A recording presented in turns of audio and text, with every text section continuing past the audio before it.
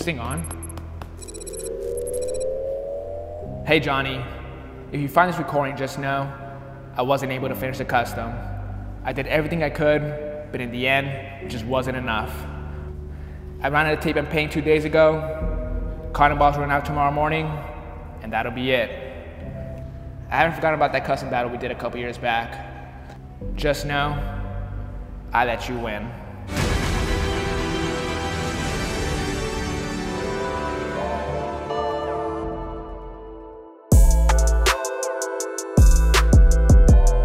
What's going on YouTube? Welcome back to this new episode of Restorations with Vick. What I'm gonna be customizing today are these 2006 Pure Money 3s. I'm gonna be turning them into an Iron Man custom. This custom is gonna be so sick. I have it in my head mapped out. Now I just gotta freaking do it. On this shoe, it's gonna have a lot of paneling, a lot of shading, gold and red of course, and a little bit of silver. And the best part about this custom is gonna have some LED lights in the air units and other areas of the shoe. I'll show you how to do all of that later on in this video. This custom is gonna be pretty tough and it's gonna require a lot of work. So guys, enough chit chat, let's get started. First step we gotta do is prep work. We're gonna be using acetone and cotton balls to remove the entire finish off the shoe. That way the paint can stick. But first, using a heat gun, we're gonna go in and remove the gel mat off the tongue.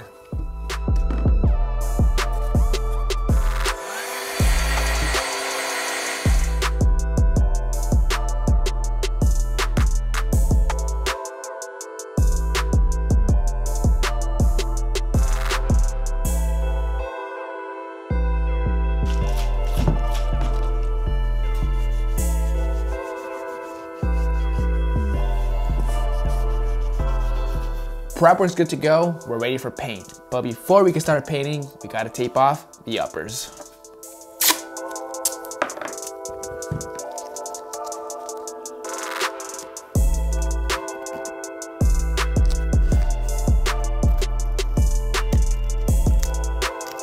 All taped up guys, now let's go ahead and lay down our first color, which is our metallic silver. We're gonna be focusing that color on the pound leather and the back tab using my airbrush.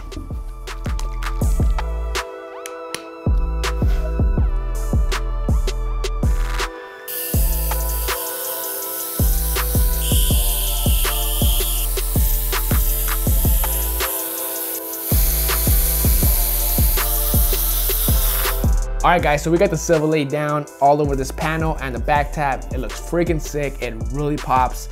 So now we're gonna go ahead and tape that off so we can lay down our second color, which is our red.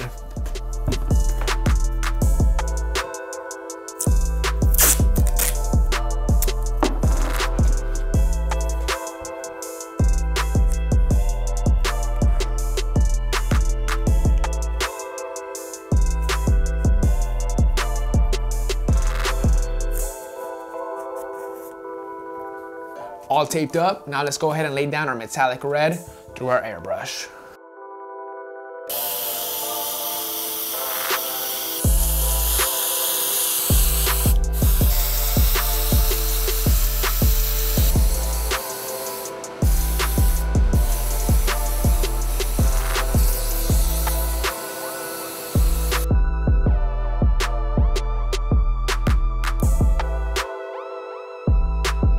We got the tape off guys. The metallic red and the metallic silver look super dope. It really pops. Um, it gives it that metal look. This is just 10% of this custom. We still got so much more to go. The next color we're gonna lay down is some more silver. The silver is gonna go on both sides of the shoe, right here specifically. Um, but what we gotta do first is some taping.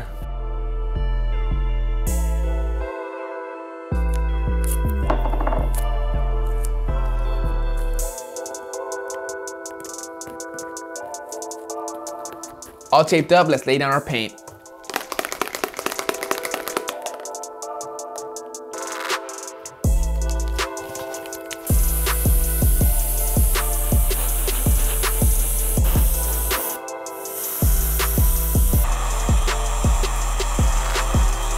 Silver's good to go. We're making progress on this custom. One thing I did forget to mention was the back tab.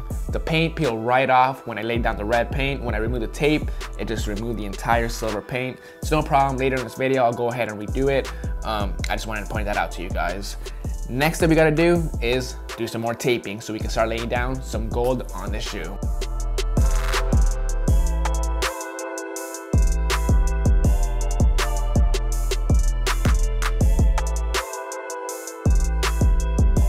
All taped up, once again, now let's lay down our gold paint.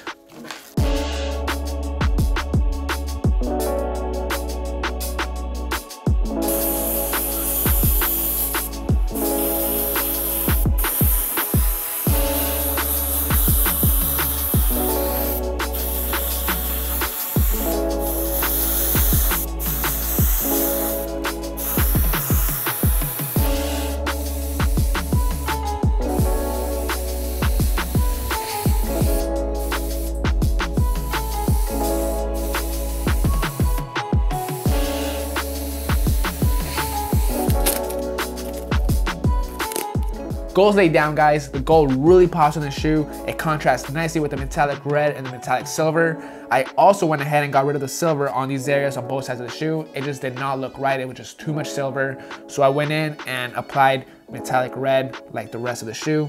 I think it flows a lot better like this. Um, we'll see once the shoe is fully wrapped up. So now the next step I gotta do is do some more taping. Once again, we're gonna tape off areas so we can start laying down the gold on the collar and the sock liner.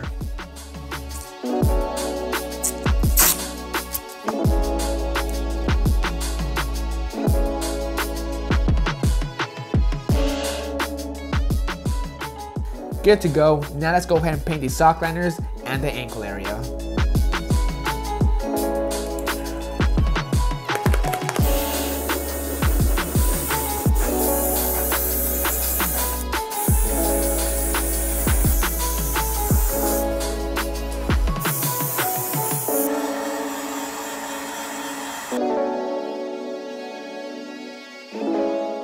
Almost done with the color blocking. The last part we gotta do is this area right here on both sides.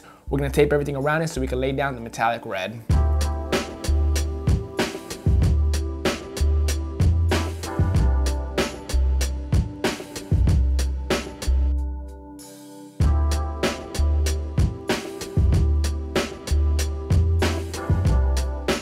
All right guys, so we went ahead and did a lot of this work off camera. As you can see, the shading, the paneling looks really dope. It's really giving a lot of depth to this custom. We still have a lot more work to go.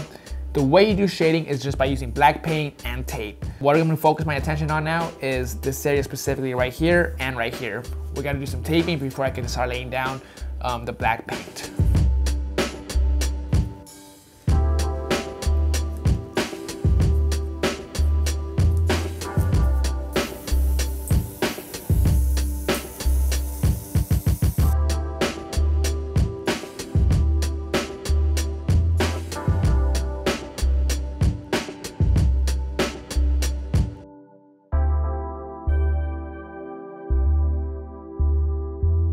All right guys, just to catch you guys up, we did a lot of this work off camera. All the shadings get to go on the red and gold. It was a ton of work for two reasons. One, I found myself going back, redoing a lot of the panels just because I did not like how it was coming out.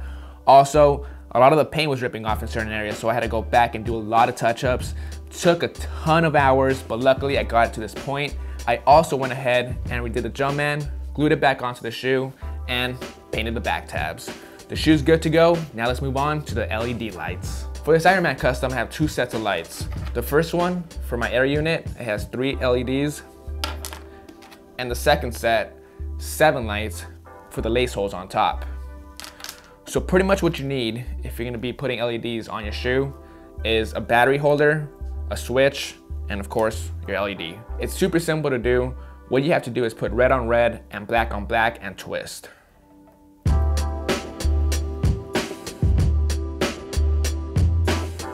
All right, so we got it twisted up. Now let's grab our battery, put it in real quick, and hit the switch.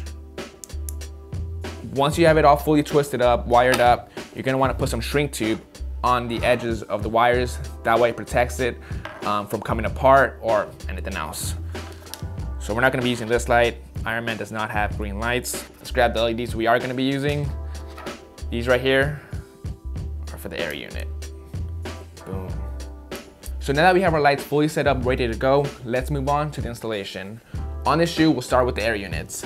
Off camera, I went ahead and drilled three holes straight down the air unit inside the shoe. I used my drill to do so. Super easy to do. You just don't wanna be punching holes anywhere inside the shoe. Make sure you calculate it right. On the shoe, there's kind of two barriers inside. So if you were to just drill one hole and put one light, the light would just be glowing in the middle. You have to put three holes and three lights for the whole thing to be glowing brightly. So we have our holes ready to go. Same thing with our lights. Now let's go ahead and install them. We're just gonna go ahead and poke them in, lay them down flat so they can go nicely under the insole.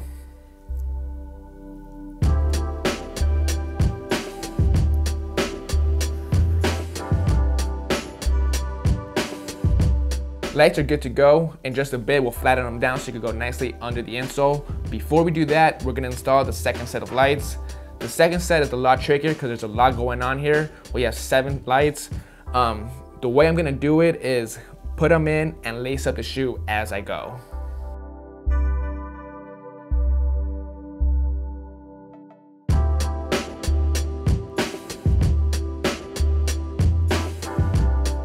Check it out guys, we got the lights nicely installed in the shoe, the air unit's glowing, same thing with the lace lock and the lace holes.